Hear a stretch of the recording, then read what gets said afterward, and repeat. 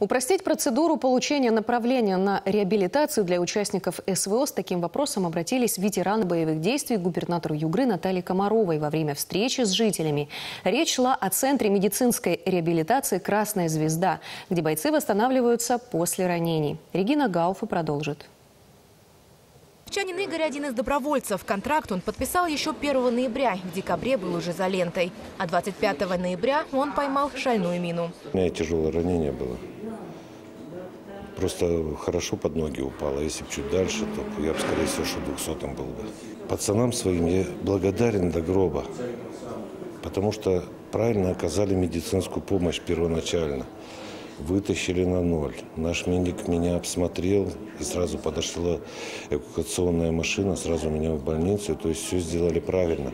Благодаря этому Игорю удалось сохранить ноги, однако впереди его ждет еще одна операция и дальнейшее восстановление. Здесь, в Центре реабилитации «Красная звезда», для этого есть все необходимое. Здесь у нас массажные кресла есть, есть массажные матрасы, магнитотеплотерапия есть, э, есть у нас лазер, также есть и магнитотурботрон, и аватрон. Ну, то есть лечение происходит вообще даже на клеточном уровне вот с такими аппаратами. И все очень довольные ну, ребята приходят, проходят лечение, оздоравливаются, восстанавливаются. История создания этого реабилитационного центра идет еще с 2013 года, с того времени, когда были внесены изменения в федеральное законодательство.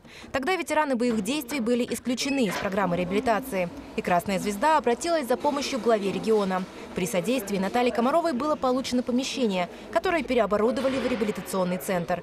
С тех пор лечение здесь получают не только бойцы после ранений, но и пенсионеры, инвалиды и родственники тех, кто сейчас находится на СВО.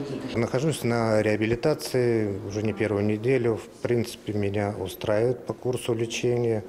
Э, получил все, что желал, гораздо лучше, легче.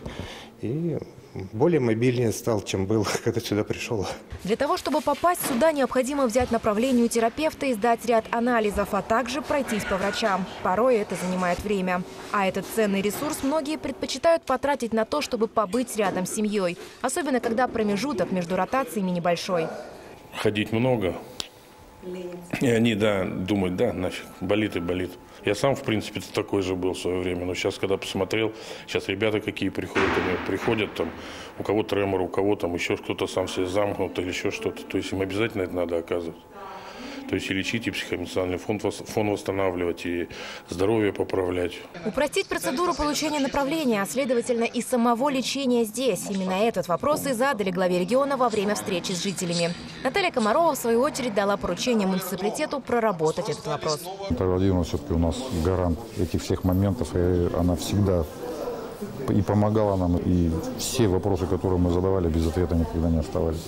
Начала года в Центре оздоровительные процедуры и лечение получили около сотни ветеранов боевых действий и горожан. Регина Гауф, Евгений Лоскутников, телерадиокомпания «Югра», Нижневартовск.